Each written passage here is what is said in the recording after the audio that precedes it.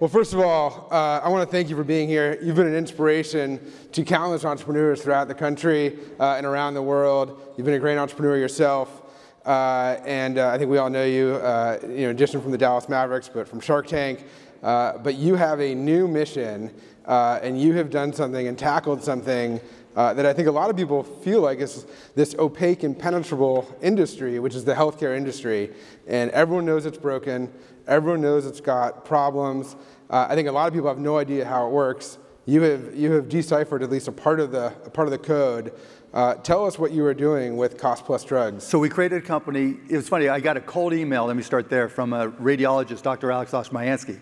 And he was like, look, I've got this compounding pharmacy in Denver I want to build where we're going to take drugs, generic drugs that are in short supply, manufacture them there, and sell them. I'm like, you're thinking too small.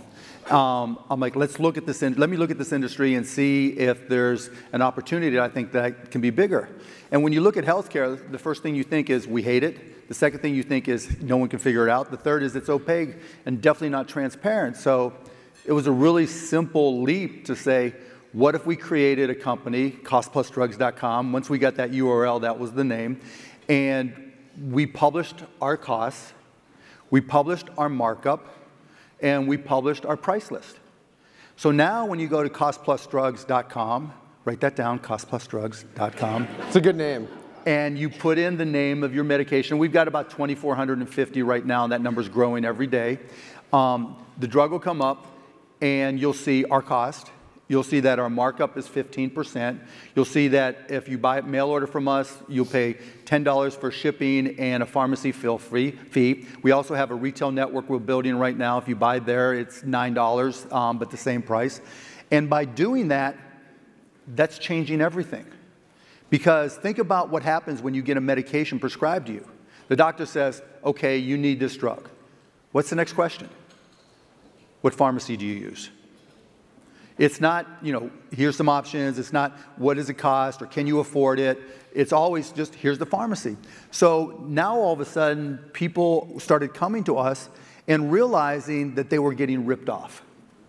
I mean, I can tell you story after story after story. You know, a friend of mine who was in a horrific car accident needed a drug called droxidopa. I had no idea what that was.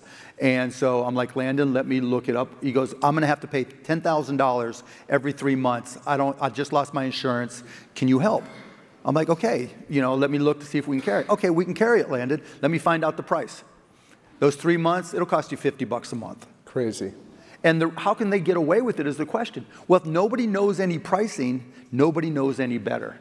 And by publishing our price list, now researchers from Harvard and Vanderbilt and other uh, you know, research organizations are taking our price list and comparing it and saying, look, here are three urology drugs that if CMS would have purchased through Cost Plus instead of current sources, would have saved the government you know, $3.6 billion, or here are nine heart medications, whatever it may be.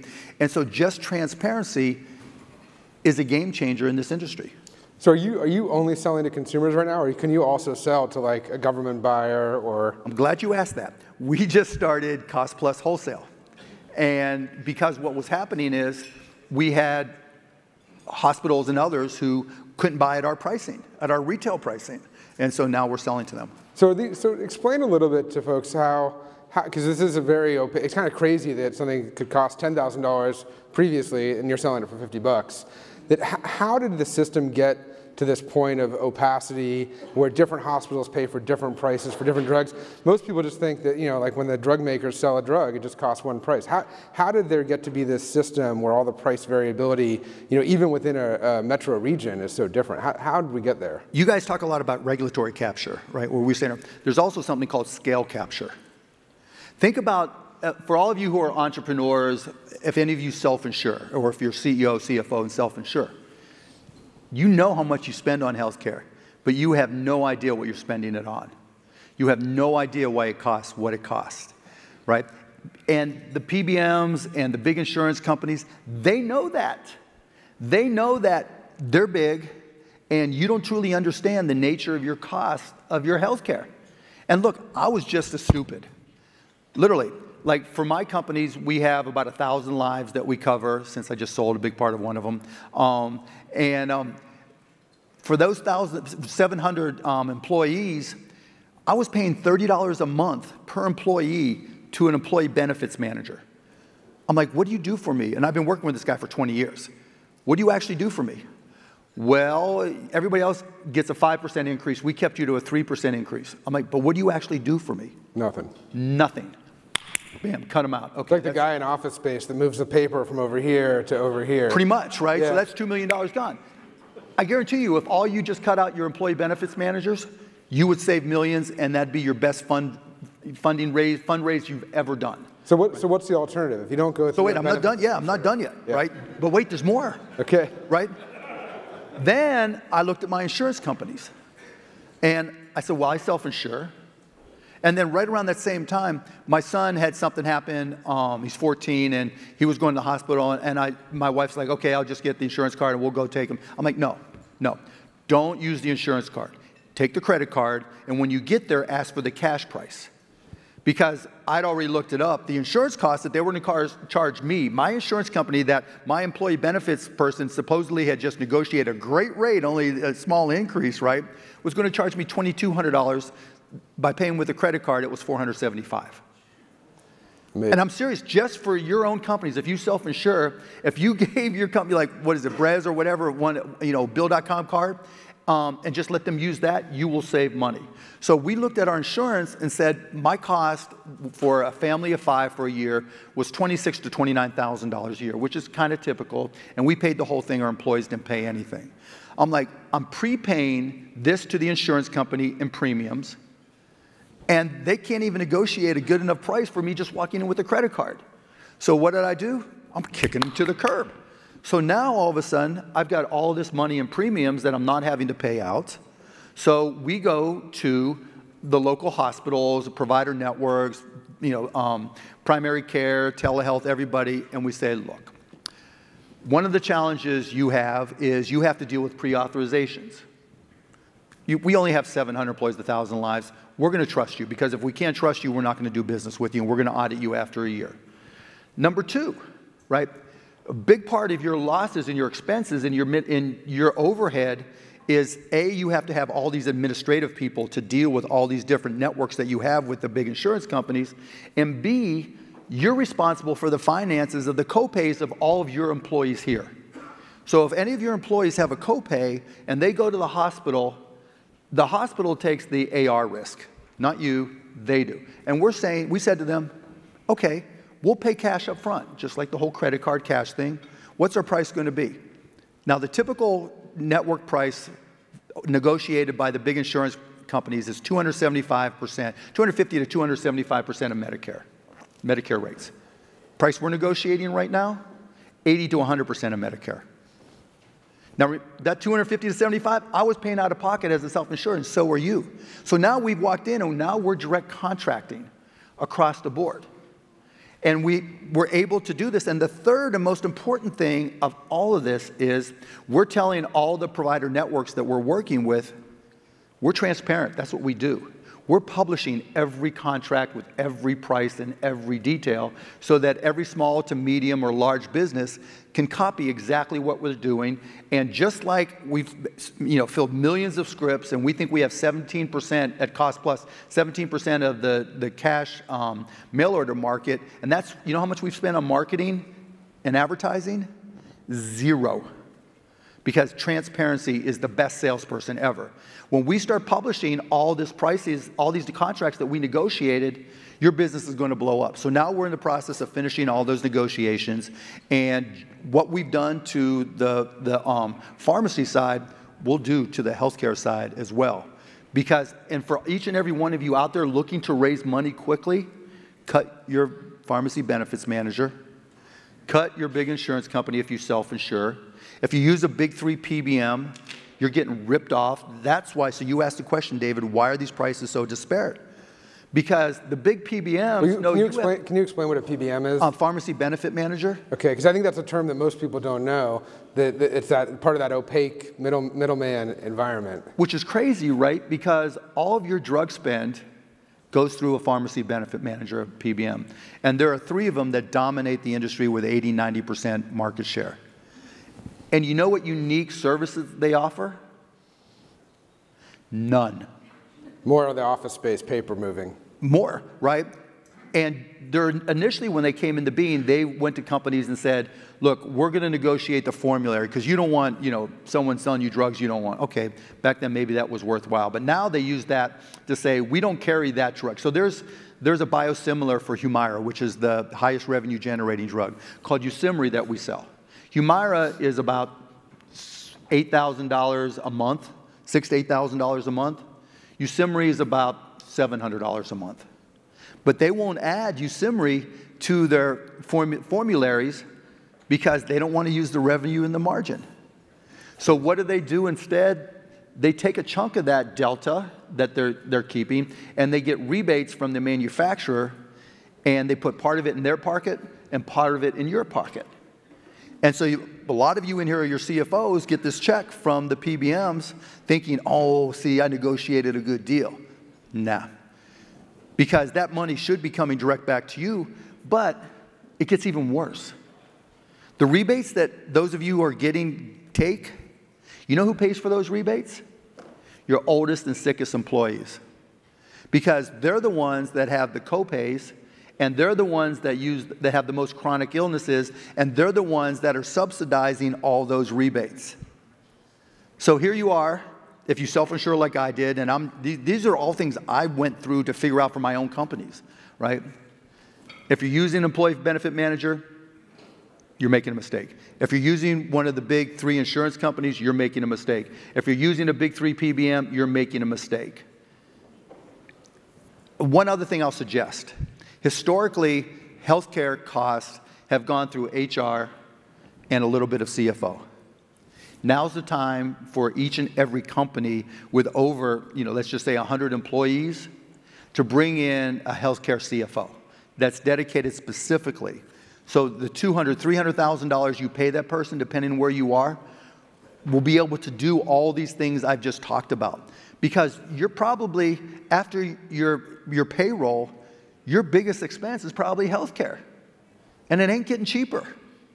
And so, by paying attention to the details of these things, you will save so much money, and more importantly, you will change the entire healthcare industry. So when all we all talk about changing the healthcare industry, how messed up it is, and how it's awful, and everybody hates it, you know who's responsible for it being a mess? We are. Not the government, not the big insurance companies, not the big PBMs. It's our my starting with me, my ignorance, your ignorance that keeps this business in business. If five of the Fortune 50 companies walked away from the big three insurance companies and the big three PBMs, they'd have to change their business models, and immediately, immediately the entire healthcare system would change. By having all those contracts that you signed, the first line in the contract says, you cannot share this, you signed an NDA, do not show it to anybody. If you strike those and publish those contracts, you immediately change the entire industry. And you know what will happen as a result? Costs will go down. Not slowly, quickly. So we all can take responsibility for changing the healthcare industry, and it's not a complicated industry. Of all the businesses I've ever started in my entire life, this has been the easiest. That's crazy. Because it does seem very opaque. And, you know, I think listening to you, first of all, super messed up about the most vulnerable, the oldest patients being the ones bearing the brunt of the cost that get passed on as rebates. That's, that's just messed up. It's crazy. And, and, and, think about it. there is a Wall Street Journal reporter or CNBC reporter sitting here somewhere, and if you're a big company, CEO or CFO, they're staring at you right now. Yeah, well, you've made every CEO in this room who has like, you know, 100 to 1,000 employees feel pretty dumb now about just paying that broker. Well, I felt uh, dumb. I mean, yeah. I mean, like I sat there and I said, okay. But now they have a path forward you know, hire a healthcare CFO. Yep. And go dig into the details because it's hard. Your core competency as a CEO is not your healthcare business. But if you self-insure, healthcare is your business. Do you think that the government, so you, you say, look, this is a, not that complicated of a business. I think that, you know, uh, you're not giving yourself enough credit. I think it is a complicated, it's a very opaque business. It may not be complicated. That's what simplified. Very opaque, right, it's a very opaque business. You just find all these people in the middle taking all this money and marking things up and, you know, making the pricing as uh, non-transparent as, as possible. Uh, but is there a role in the government? You know, I've, I, did, I did a bunch of reading leading up to this. It does seem like there are a few very large PBMs. They've verticalized. You just talked about you have a, kind of a scale moat. But is that something where the government should play a role in saying, hey, wait a minute, two hospitals right next to each other, they should have the same price for the drugs or things like that? How, what, what role does government play in all this? I don't. I just don't. I just think the big PBMs and the big insurance companies, they often own each other, are faster, smarter. You know, and that the more, you know, the more you try to um, legislate it, the more influence they'll have and the more capture they'll have. That said, probably the only place that I would dig in and consider pushing for legislation is to protect independent pharmacies. If you do business with any of the big 3BMs or insurance companies, you are putting independent pharmacies out of business.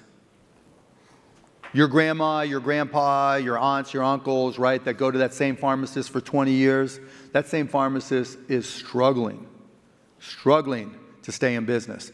And so, you know, there are, if you're dealing with one of those big three PBMs, it costs an independent pharmacy probably $12, give or take, on the location to fill a script. They're paying them 50 cents, but it gets worse, right? For Medicare fills, right, and Medicare Advantage fills, there's this thing called um, direct DIR fees, right? And they're charging them these fees up front so that your Wegovy or your Eliquis, they're losing 10, 15, 20 dollars, 30 dollars every time they fill it. And so they're trying to send them to the CVS's and the Walgreens of the world so they don't have to fill it. And you guys are helping them put them, put them out of business. So, from a legislative perspective, I, I would be fine with saying the minimum paid by any big three PBM that has more than X percent of market share is $12. Do, do you think, though, you talk about this healthcare CFO, is it really reasonable for a CEO of a, of a thousand person company to really say, I'm going to start calling the local hospitals in my area and negotiating my own rates? Is that really the model forward? Or is a new model going to emerge? Like, what, what is the real recommendation for, for a CEO? And then what about people that need, you know, if someone's in a, a horrific car accident, they need long term care? Right. I mean, insurance still has a role to play there. So you're going to have reinsurance or catastrophic insurance for that, right? And you'll set the parameters to deal with those situations. And in terms of can you make it a core business effectively going on? You know, we'll be publishing everything we do.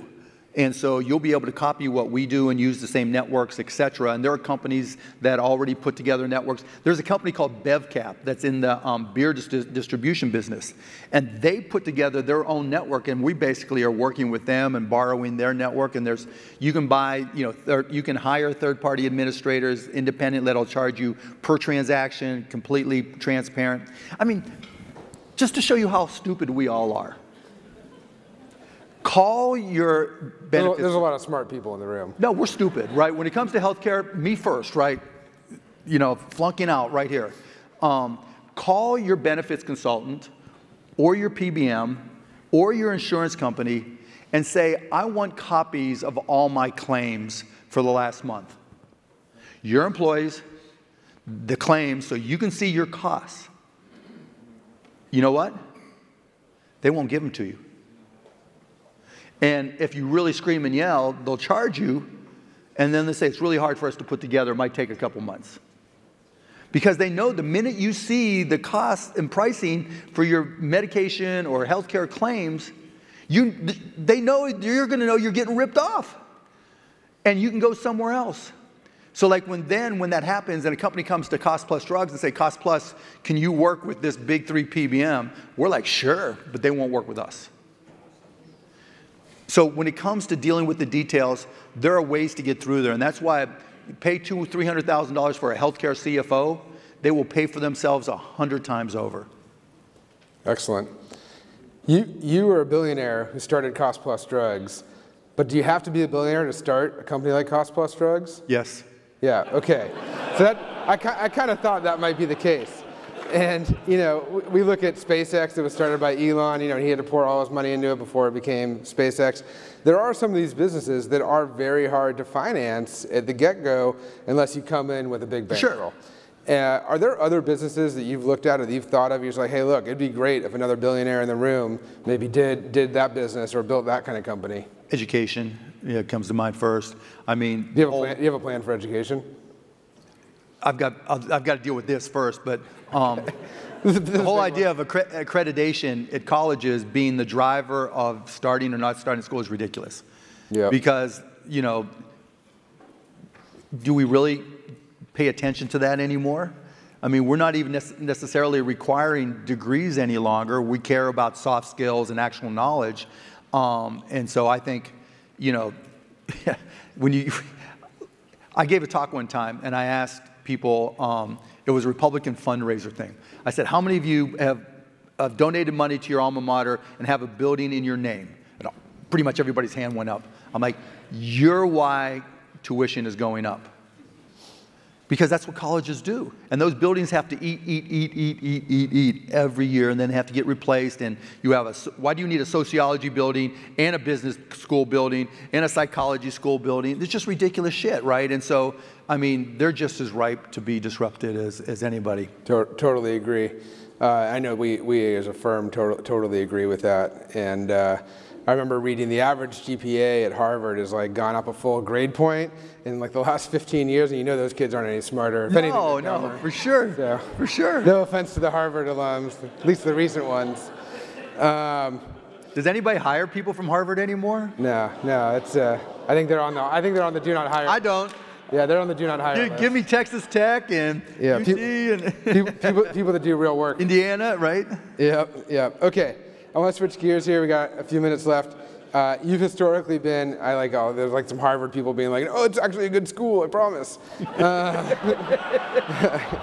The good news is they haven't been in the news at all and nobody's Yeah. paying attention to Yeah, them. yeah, yeah. It's not not total free fall there. Oh, hey, so, Bill Ackman. Know, uh, so look, you've hosted Shark Tank for 16 years. 15. 15. This is the 16th year. This is the 15th. Oh, 15th year. Okay. Wikipedia had something wrong. It's Yeah, incredible. Okay. Wikipedia wrong. Shocking. I didn't know things were wrong on the internet. Uh, it's one of the most important shows in America. It's an iconic show. Uh, it's an inspiring show for entrepreneurs. Uh, a couple questions. What, what's one of your favorite moments from, from Shark Tank?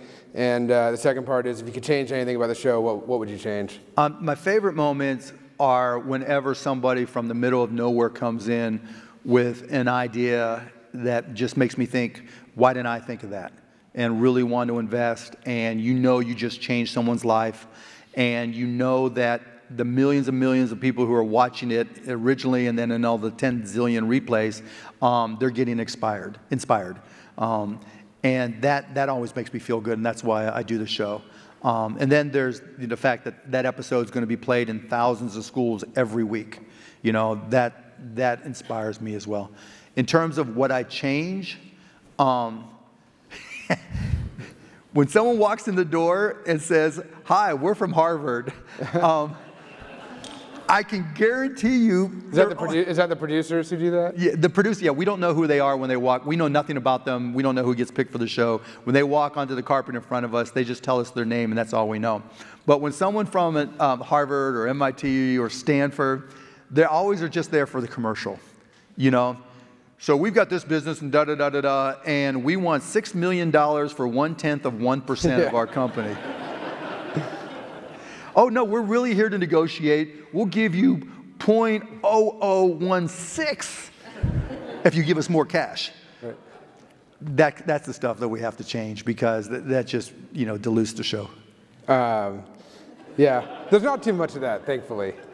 It's, Well, they've uh, learned, right? yeah. Harvard, eh, get out. I like this. I like this like constant ripping on Harvard. Uh, okay, so when you look at everything going on in the world, uh, you know, and Shark, Shark Tank to me is a, a truly American phenomenon. I actually I saw that they've tried to replicate it in other countries. It doesn't, Yeah. work, it doesn't work out that well. It works out okay in Canada, other places they, they try to do it, it's but really, crazy in other places, yeah. but, but America is really a special, a special place.